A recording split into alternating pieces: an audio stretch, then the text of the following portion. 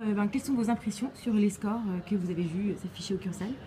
Bah écoutez, on n'a pas démérité, on a fait un, score tout à fait euh, honorable et je remercie les électeurs et les électrices de nous avoir soutenus, d'avoir soutenu notre projet qui est en rupture, un projet de transformation sociale, écologique, démocratique. C'est ça qui est important. Donc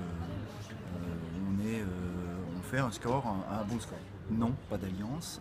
ce soir, de toute façon, nous allons en discuter avec la liste.